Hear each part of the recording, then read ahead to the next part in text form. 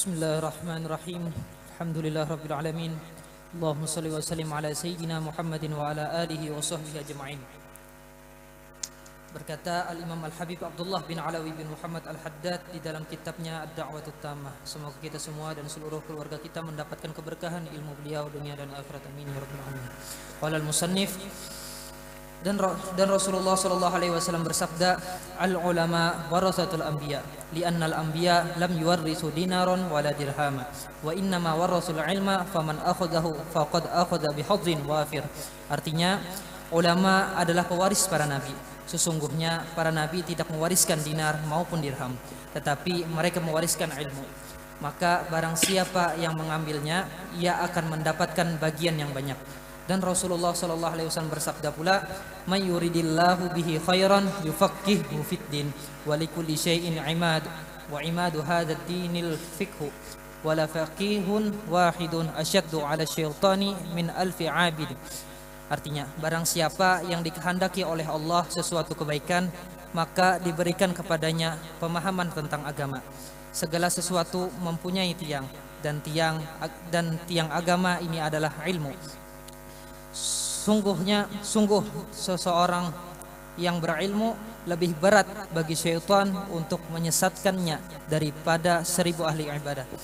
Dan Rasulullah Shallallahu Alaihi Wasallam bersabda talabul ilmi faridatun ala kulli muslim.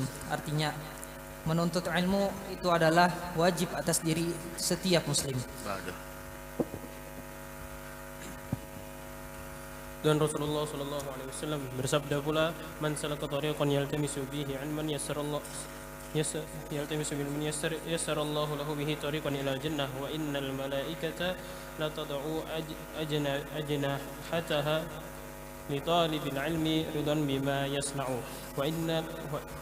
alima la yas la yastaghfiru lahu man fis samawati wa man fil ardi hatta hitanu fil ma'i fa fadlul alimi 'ala al 'abidi ka fadli ka fadlil qamari 'ala sa'iril kawakib artinya barang siapa yang yang menempuh suatu jalan untuk mencari ilmu maka Allah akan mem, maka Allah akan memudahkan baginya jalan ke surga.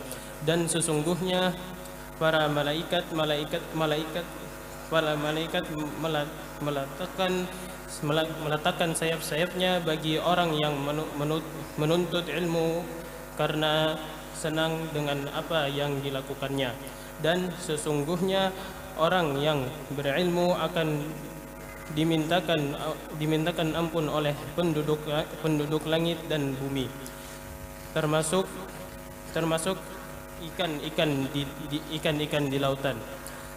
Dan dan kelebihan orang yang alim atas orang yang baik ibad, orang yang banyak ibadahnya seperti kelebihan pada malam purnama atas atas binatang-binatang atas bintang-bintang lainnya dan Rasulullah sallallahu alaihi sallallahu alaihi wa ala alihi wasallam bersabda pula aqrabun nasi min darajatin nubuwah ahlul ilmi wal, wal jihad artinya orang yang paling dekat derajatnya dengan derajat kenabian adalah orang yang berilmu dan orang yang berjihad kalau orang yang berilmu menu, menu, kalau orang yang berilmu menuntun manusia kepada segala sesuatu yang yang da, yang datang kepada para rasul. Sedangkan orang-orang yang berjihad mereka berusaha dengan dengan pedang mereka atas segala sesuatu yang menantang para rasul. Bismillahirrahmanirrahim. Alhamdulillahirabbil alamin. والصلاة والسلام على أشرف الأنبياء وإمام المرسلين سيدنا ونبينا وحبيبنا وشفيعنا وذخرنا ومولانا محمد وعلى آله وصحبه أجمعين أما بعد الحمد لله Kita bersyukur kehadrat Allah di malam yang mulia ini kembali Allah mengumpulkan kita di waktu yang mulia, di tempat yang mulia, di dalam kegiatan yang mulia yang sama-sama kita berkumpul menuntut ilmu pengetahuan agama. Mudah-mudahan Allah memberikan keistigamahan kepada kita zahiran wa batinan. Amin ya rabbal alamin. Wal Imam Al-Haddad mengutip dari hadis Nabi kita Muhammad sallallahu alaihi wa ala alihi wasallam tentang keutamaan ulama. tentang keutamaan orang-orang yang mempunyai ilmu agar kita tidak merendahkan orang yang dimuliakan Allah agar kita tidak menyepelekan dan meremehkan orang yang punya kedudukan di sisi Allah Subhanahu wa taala. Dari karena itu Rasul bersabda di dalam sebuah hadis al ulama warathatul anbiya. Ulama itu adalah pewarisnya para nabi. Wa innama li'annal anbiya kenapa ulama ini pewaris nabi? Li'annal anbiya lam yuwarrithu dinaran wala dirhaman. Karena para nabi kata nabi kita Muhammad karena para nabi tidak mewariskan dinar maupun dirham. Itu bukan warisan mereka. Itu bukan peninggalan mereka Ah, akan tetapi peninggalan terindah dari para nabi yaitu wa innama warrathul ilma.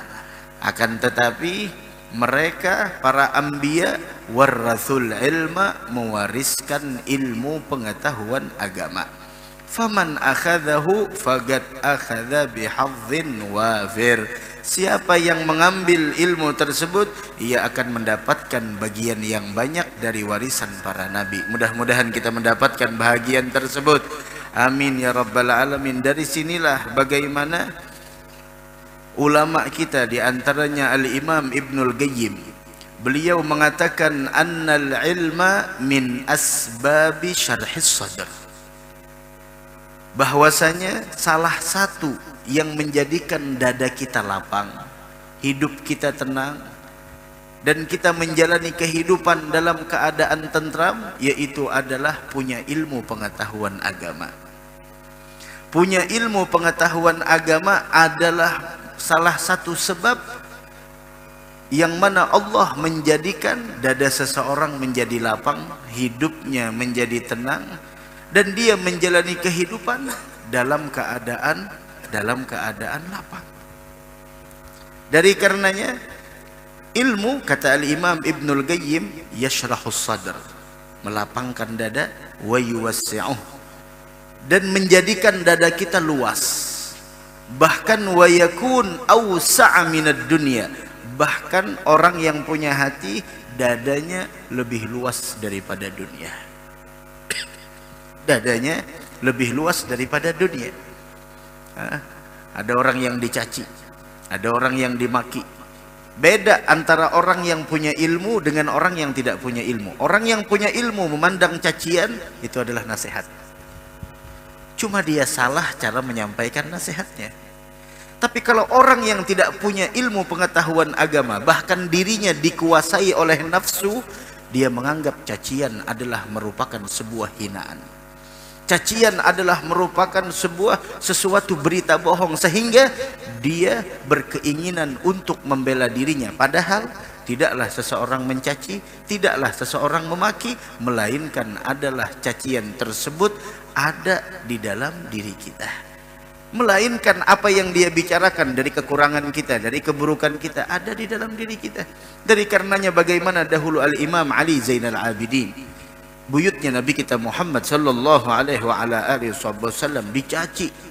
Di tengah orang banyak di hadapan orang-orang muhibbinnya para pencintanya beliau sedikit pun tidak berubah wajahnya. Bahkan beliau mengatakan sungguh apa yang kau ketahui jauh lebih sedikit daripada apa yang masih disimpan dan ditutup oleh Allah apa yang kau ketahui sekarang, kau caci saya, kau hina saya, itu sangat sedikit. Yang Allah tutup jauh lebih banyak.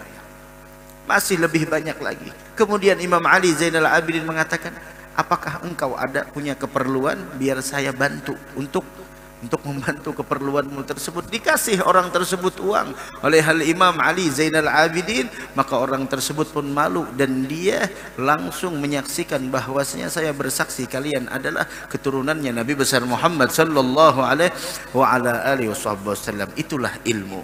Begitu juga sebaliknya kejahilan yaitu yurithuhu dhiq wal hasra wal habs kejahilan orang hidup tidak dibekali dengan ilmu meskipun dia kaya raya rumahnya luas mobilnya mewah motornya mahal uangnya banyak tapi kejahilan akan menjadikan dunia terasa sempit kebodohan yang dia miliki akan menjadikan orang tersebut terasa di penjara. Terasa dunia ini sangat sempit, seluas apa pun itu rumahnya. Semewah apa pun itu mobilnya, selengkap apa pun perabot rumah tangganya, selama kebodohan ada di dalam dirinya, maka orang tersebut tidak akan pernah mendapatkan kelapangan dan kebahagiaan dalam hidup. Dan dia senantiasa merasa dalam kesempitan, merasa di dalam apa namanya uh, uh, merasa di dalam sebuah uh, al-hasr wal habs orang tersebut merasa di dalam uh, hidupnya merasa terpenjara. Kenapa? Karena kebodohan yang membuat sesuatu yang luas menjadi sempit. Fakullama tasa'a ilmul abdi in syaraha sadruhu wattasa' Semakin ilmunya luas, semakin dia banyak dapat ilmu, semakin dadanya lapang dan diluaskan oleh Allah Subhanahu wa taala. Dan ini tidak semua ilmu kata Imam Ibnul Qayyim, tapi ini ilmu yang diwariskan dari Nabi kita Muhammad sallallahu alaihi wa ala alihi wasallam yaitu adalah ilmu yang bermanfaat, maka orang yang mendapatkan ilmu tersebut adalah orang yang paling paling lapang dadanya, yang paling luas hatinya, yang paling baik akhlaknya dan yang paling indah kehidupannya. Mudah-mudahan Allah jadikan kita orang yang cinta dengan ilmu pengetahuan agama. Amin ya rabbal alamin. Dari karenanya Rasul bersabda lagi, "Man yuridillahu bihi khairan yufaqihu fid din." Orang kalau sudah diinginkan kebaikan oleh Allah, Allah pahamkan agama. Allah pahamkan urusan agama. Allah pahamkan urusan bagaimana cara menghamba kepada Allah. Kebanyakan orang yang mereka ketahui hanya urusan dunia, tapi urusan agama, urusan ibadah, bagaimana di sana cara menghamba kepada Allah. Bulan kelahiran Nabi Muhammad sebentar lagi akan tiba kepada kita semua. Bagaimana kita cara menyambutnya? Kalau kita sayang dengan seseorang, udah masuk bulannya kita udah ingat kado apa yang kita persiapkan untuk orang yang kita cintai. Bagaimana kalau yang dilahirkan adalah manusia termulia yang memikirkan nasib kita semua sebelum kita dilahirkan, sebelum kita diadakan dan ketika kita dilahirkan dan setelah nantinya kematian dan bahkan di hari kiamat ketika orang meninggalkan kita hanya sosok manusia yang mengingat kita dan memperdulikan kita yaitu adalah Nabi kita Muhammad sallallahu alaihi wa ala alihi wasallam yang bulan kelahirannya akan kita sambut bersama. Sekarang renungkan, pikirkan kado apa yang kita siapkan untuk beliau.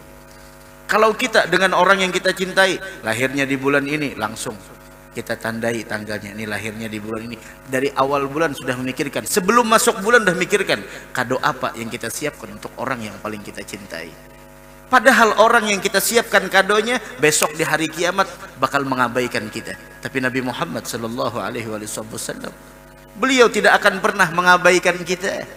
Beliau akan mencari keberadaan kita besok di hari kiamat. Perbanyak solawat selagi kita masih dimudahkan lisan kita untuk menyebut nama beliau. Kenapa? Tidak ada nama yang lebih indah melebihi nama Nabi Muhammad sallallahu alaihi wa ala alihi wa sahbihi wasallam. Mudah-mudahan kita mendapatkan syafaat beliau di hari kiamat. Amin ya rabbal alamin. Ayo agendakan program apa di rumah kita menyambut bulan kelahiran beliau. Program apa yang akan kita wujudkan dengan keluarga kita? Dengan anak istri kita. Program apa? Kenalkan Nabi Muhammad. Kenalkan Nabi Muhammad. Bukan hanya sekedar beliau Muhammad bin Abdullah bin Abdul Muttalib. Kemudian beliau dilahirkan tanggal 12 Rabiul Awal hari Senin sebelum subuh. Bukan hanya sekedar itu ceritakan bentuk fisiknya Nabi Muhammad. Ceritakan bagaimana indahnya indahnya ciptaan Allah yang terwujud di dalam diri Nabi kita Muhammad sallallahu alaihi wa ala alihi wasallam sehingga seluruh keindahan yang ada di, di alam semesta ini semua keindahan tersebut diambil dari keindahan Nabi kita Muhammad sallallahu alaihi wa ala alihi wasallam. Dari karenanya setiap orang yang terkoneksi dengan Nabi Muhammad maka dia akan terlihat indah setiap orang yang terhubung dengan Nabi Muhammad, dia akan terlihat indah. Dia akan mulia. Dia akan mendapatkan keberkahan di mana pun dia berada. Maka keberadaannya bawa berkah. Kenapa? Karena dia terhubung dengan sahibul barakah. Dengan orang yang hidupnya dilimpahkan keberkahan oleh Allah subhanahu wa ta'ala. Man yuridillahu bihi khairan yufaqihu fid din. Orang yang diinginkan kebaikan oleh Allah, Allah pahamkan urusan agama. Likulli syai'in imad. Setiap sesuatu itu ada tiangnya dan tiang agama ini adalah al-fiqh, pemahaman. Bagaimana mungkin seseorang bisa menegakkan agamanya, salat, puasa, zakat, haji dan syariat yang lainnya kalau tidak didasari dengan ilmu? Kalau tidak didasari dengan il, ilmu. Bagaimana seseorang bisa sholat kalau tidak faham ilmunya? Sholat bukan hanya gerakan. Sholat bukan hanya sekedar bacaan, akan tetapi di belakangnya bagaimana di sana ilmu pengetahuan yang sangat luas.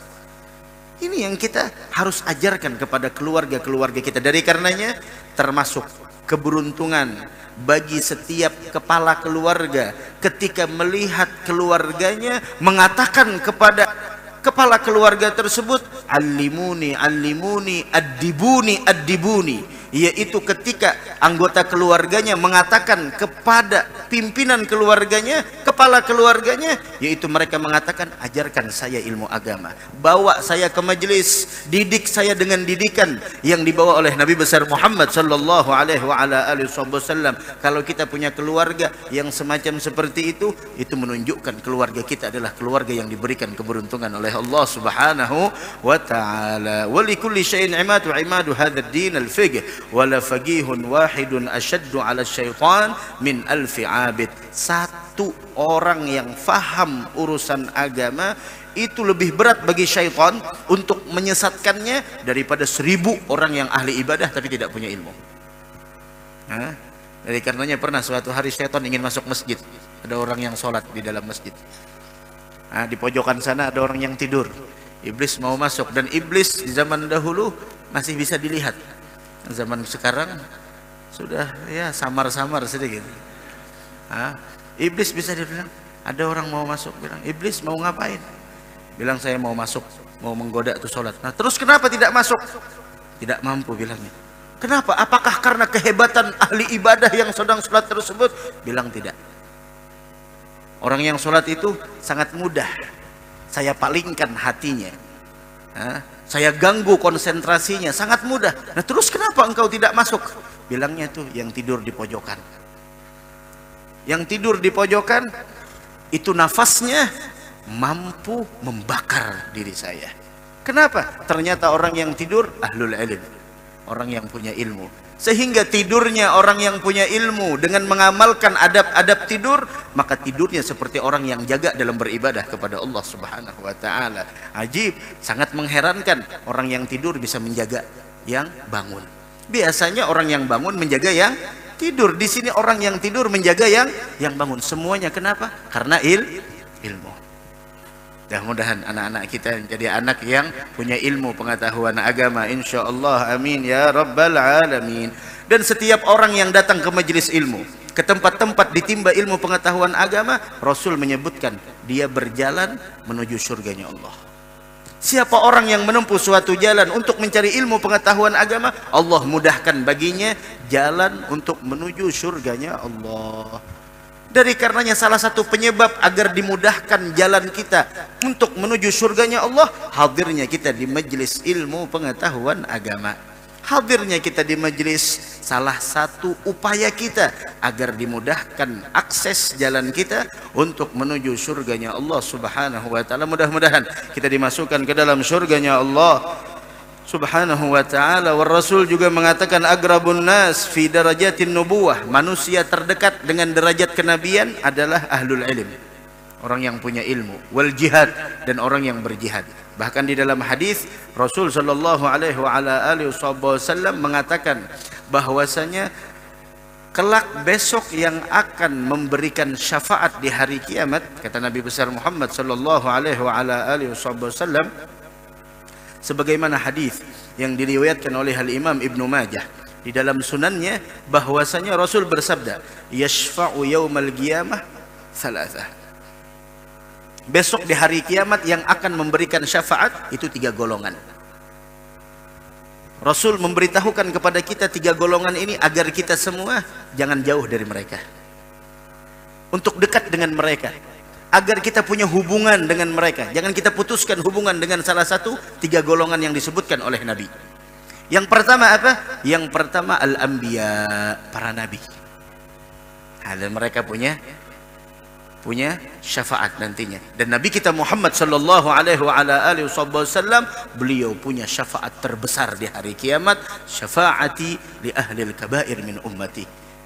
Syafaatku kata Nabi Muhammad, aku prioritaskan untuk orang-orang yang punya dosa besar dari kalangan umatku. Mudah-mudahan kita dapat syafaat Nabi besar Muhammad sallallahu alaihi wasallam. Yang pertama, yang kedua, al ulama, para ulama. Dari karenanya adanya ulama di wilayah kita, di kampung kita, di tempat kita, rahmat dari Allah. Keberadaan mereka adalah sebagai pintu gerbang untuk kita besok mendapatkan syafaat mereka di hari kiamat. Asalkan kita punya hubungan dengan mereka. Hadir di majelisnya mereka, punya ikatan dengan mereka. Jangan sampai kita putuskan. Jangan sampai kita menjauh dari mereka. Allah telah menghadirkan mereka di tengah-tengah kita. Manfaatkan keberadaannya. Manfaatkan kehadirannya di tengah-tengah kita. Al-ulama, ulama yang mengamalkan ilmunya, ulama yang punya rasa takut kepada Allah, besok mereka diizinkan untuk memberikan syafaat. Dan yang ketiga yaitu adalah asyuhada para orang-orang yang wafat dalam keadaan syahid. Wal Imam Al-Ghazali ketika membaca ini hadis, beliau berkomentar, "Fa'azim bimartabatin hiya talin nubuwata wa fawqa syahada." Beliau mengatakan begitu agungnya kedudukan ulama yang mana kedudukan ulama datang setelah kedudukan para nabi. Nabi menyebutkan tadi apa? Golongan yang pertama siapa yang beri syafaat? Para na nabi. Yang kedua siapa? Para ulama. Begitu agung kedudukan para ulama yang datang diposisikan oleh Nabi Muhammad setelah kenabian wa syahadah dan kedudukannya di atas orang-orang yang wafat dalam keadaan syahid. Dari karenanya mari kita sama-sama semangat di dalam mempergunakan sisa umur kita ini di dalam mendekatkan diri kepada Allah Subhanahu wa taala dan mudah-mudahan Allah berikan keistiqamahan kepada kita semua dan mudah-mudahan Allah berikan kita panjang umur sehat wal afiah. Mudah-mudahan kita diwafatkan dalam keadaan husnul khatimah. آمين آمين يا رب العالمين. لحضرة النبي محمد صلى الله عليه وآله وصحبه وسلم الفاتحة.